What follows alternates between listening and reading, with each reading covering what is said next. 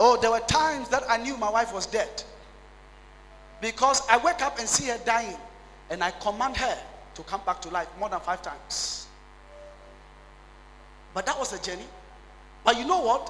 What Jephthah failed to understand is that the meaning of Tob means good and pleasing. So whatsoever you are going through, it is good. That is why the Bible said all things works together for say whatsoever is happening to me, it is for good.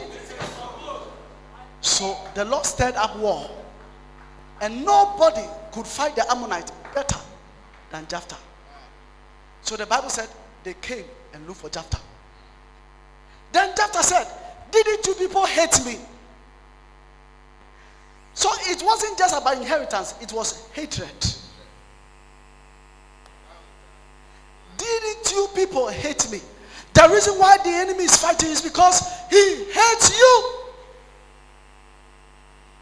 And you cannot determine who should hate you and who should not. And that is why you cannot be careless.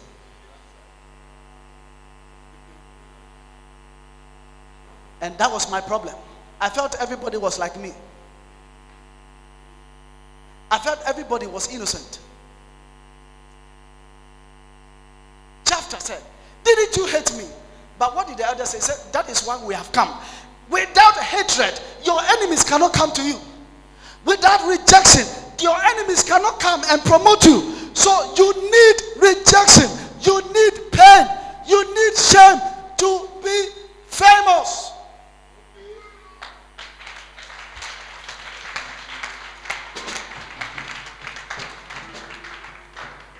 I'm receiving calls all over the world now. They gave me free publicity. For years, I've avoided posters.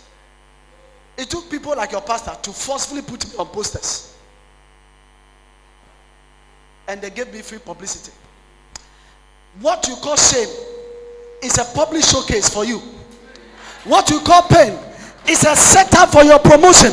Come on, receive it.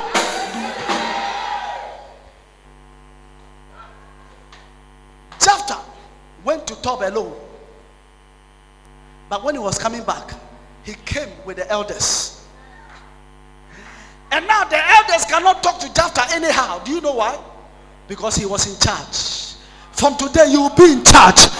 Anybody who spoke to you anyhow, now they will look for you and they will greet you, yes, sir, master. The devil thinks you are finished. They may not even think you deserve to have that house. Come, come, come, Pastor, come. Now here am I. Sit down. I come. Stand here. And I'm looking for the head pastor of the church.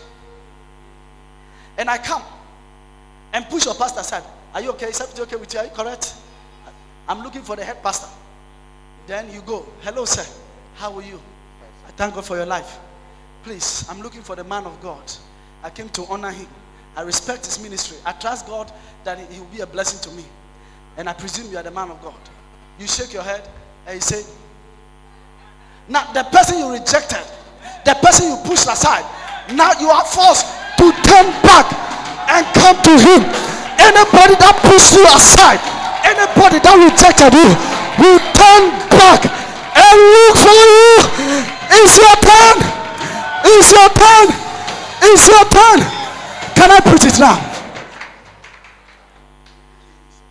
Those times, I some years ago, I had visitors from the UK. And when they came, all my boys had gone out to pray for the, for the Archbishop. And I called the Archbishop that are visitors, so I can come. And I begged him to release the, the, the, the boys for me in time. He agreed and released them. So when they came, I opened the gate for them because there was nobody in the house. So when I opened the gate, they all shook me. And thank God, I'm a very tall man and very huge in size. So when, he, when, when they saw me, they did not greet me. They just look at me. Can we go inside? I said, Yes, ma'am. Yes, sir. They got up. I said, Can I open the gate for you? Can I open the door for you? He said, Yeah, no problem. So I opened the door and went inside. I said, Honey, they have come. They said they are looking for the prophet. They saw the prophet, but they are looking for the prophet. So maybe it's my outfit. Let me go and wear jolomi. Maybe they will value me. But my wife said, You're welcome. Would you like to take anything? Spoke very nicely. You know, my wife can talk. She's very nice. When they finish, The prophet will be with you in a jiffy. Now it's my turn. And normally, normally, I'm not mindful of how I walk. But that day, I decided to walk like a prophet.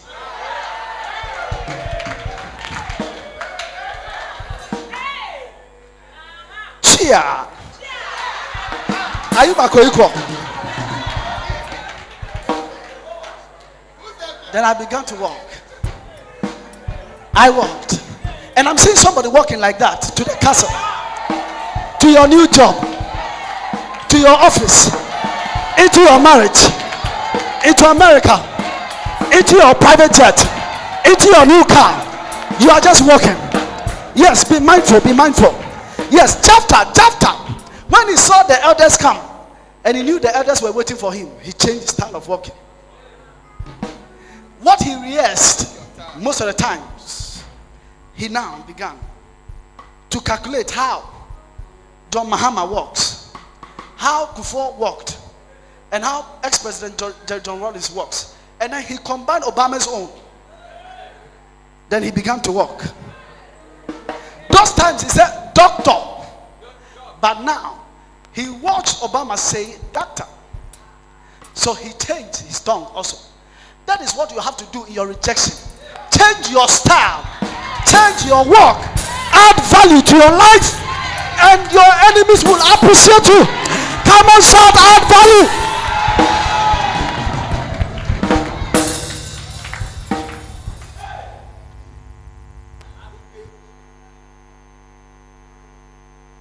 Look.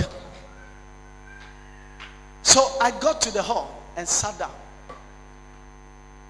And I said, I'm told you are looking for the prophet. He said, Yes. I said, I am he.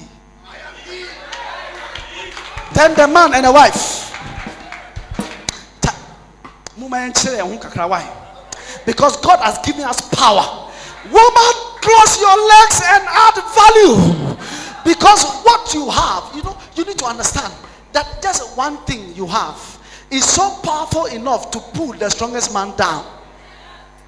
Your hair can slay a man. So close your legs and use your eyes.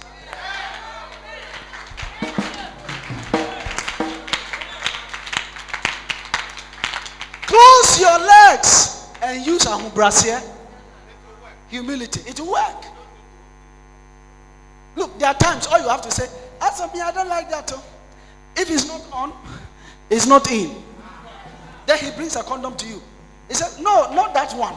I mean, if it's not on, and you know you are not a virgin, you know if a madman slept with you, but now what you have is called value.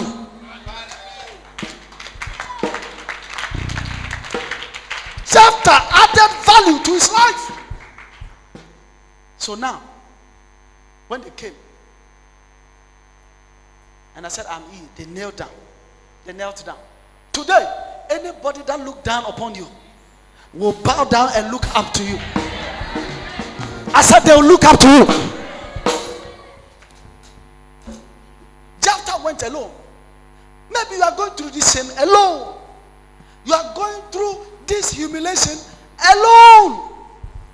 You are going through this poverty stricken life alone. But by the time God brings you out, you walk with the elders. You walk with the elders. Now, he wanted to be the head of his father's house. But now he's become the head of the whole community. Hey, can I speak to you now? You wanted a man who is a banker, but God says, I will give you a man who owns a bank. Receive it. You wanted a driver, but God says, I'm going to give you a car owner. That is what God is doing. You ask for one, He said, I'll give you seven. Receive double for your trouble. he went to talk. Now, Mizpah is a place of agreement. So they stood at a place,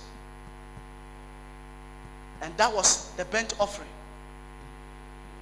And they were trying to say, Lord, be a witness to this thing. Let all the living witnesses be a witness to this day. That if they fail to make me king, then you will strike them. Today, God is bringing you to a point where if your children or your family or the enemy does not leave you alone, God has no option to kill them. If they don't leave you to go and marry, God will kill them. If they don't leave you alone to prosper, God will take their lives.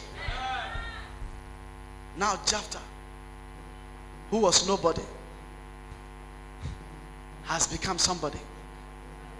Stand on your feet tonight.